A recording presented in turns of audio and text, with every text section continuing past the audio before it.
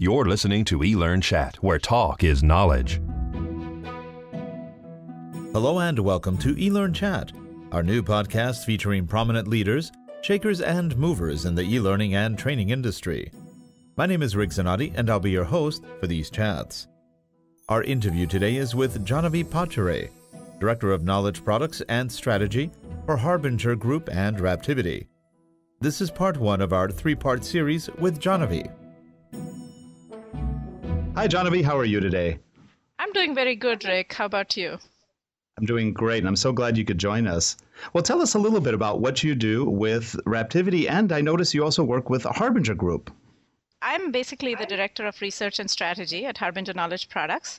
And what that basically means is I'm the eyes and the ears for the products division. I watch what's going on in the industry with new trends and technologies. But an equally important part of, or I should say, often more important part of my role is to listen to our customer inputs uh, to better, basically better understand their needs. And then I assimilate all this information, and my feedback becomes an important factor influencing some of the product decisions and product strategy. And uh, so that's for Harbinger Knowledge products. And just to tell you in short what the the company does. Uh, it's Harbinger Knowledge Products is part of Harbinger Group, which is a global IT products and services company, and it's been around for almost 20 years now. Uh, and within under Harbinger Group, we have obviously Harbinger Knowledge Products, which is the products division of the business, and then we have Harbinger Systems, which is the services arm of the company. And what they do is they provide technology expertise to customers worldwide. And this can include anything from solution consulting, uh, software design and development, all the way to QA you know, our company has won several awards for its products and services. Uh, in fact, uh, the latest excitement is about the latest feather in the cap, as I like to call it. Uh, it's the Red Herring Top 100 award that we won just last month among the top 100 innovative technology companies around the world. That's great. And I didn't realize you also do IT work. So it's a combination of IT, learning. So you leverage the IT and the learning as, as really kind of a unit. Absolutely. In fact, the, the learning is only one of the verticals we cater to on the product side. Um, so the Harbinger Knowledge products basically has interactivity solutions not just for learning, but also for presentation and web development. That's actually uh, we made a foray into that space uh, recently. But yeah, so it caters to different markets and different technologies. Now, one of the products that uh, obviously people are very interested in in the e-learning side is Raptivity. Tell us a little bit about Raptivity, how it started, and and kind of where where you're going with that product. Let me start with Raptivity. Raptivity is what we like to call an interactivity builder. It is a rapid development tool. So content developers, you know, who are looking for ways to maybe make their content more creative or interactive, uh, could use Raptivity to develop interactivities fairly easily and quickly. Um, and these interactions can pretty much range from something as simple as a flip book, interactive diagrams, drag and drop exercises, all the way up to high end games, scenario based simulations, and even 3D actually. What the tool provides is a pre built library of over 225 interaction templates, uh, what we like to call interaction models. And what users do is simply customize these interaction models uh, by plugging in their own content and media assets. So you would bring that into your into these templates. So uh, they don't need to worry about any programming because you know Raptivity takes care of all that for them. Which means the, it's a good thing because the users now have more time to focus on the content itself.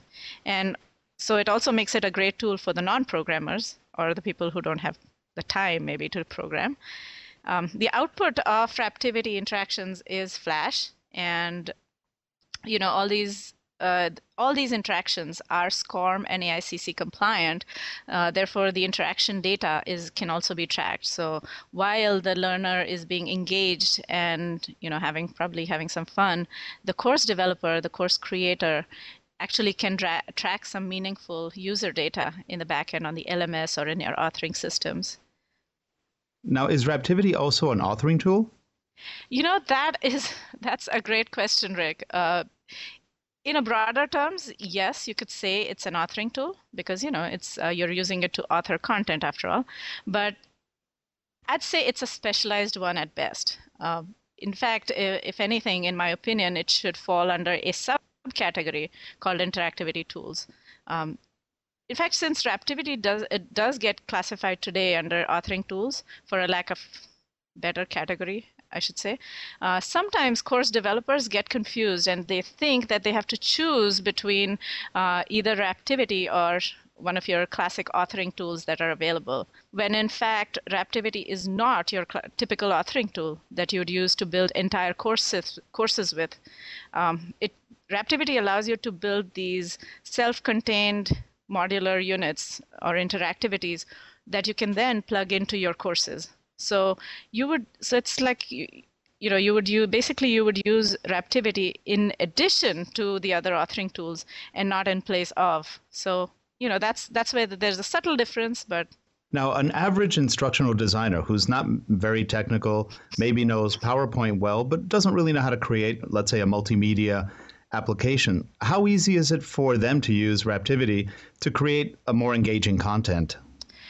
You know, Rick, very, very easy. All you do is select a template uh, and then bring in your content and media assets into that template. Customize the look and feel of the interaction. So, say I'm developing a game, uh, which is a TV show type of a game. Basically, bring in my questions and customize the look and feel to make it more corporate like if I like it. Simply tweak the behavior of that interaction and publish the interactivity. It is it is a single click publish. And the output is a single flash file as I mentioned. So after that, you simply include the flash.swf output into your courses. I mean, there's little work that needs to be done where you have to collect your thoughts and gather all the media assets that you would need, but that's that's true for any development. So you have to be ready with that. But once it's ready, creating it is just matter of minutes. So you could be building a learning game in literally minutes rather than days. And I think that's the beauty of rapid interactivity and the rapid interactivity paradigm that uh, Raptivity first introduced. Need help with your e learning development? Visit www.relate.com.